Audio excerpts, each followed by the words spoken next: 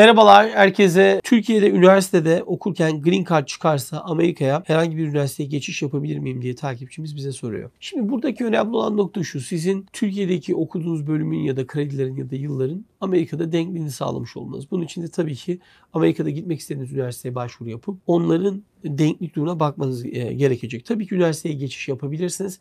Önemli olan Amerika'daki okulun sizi kabul ediyor olması deyip takipçimizin sorusunu cevaplamış olalım.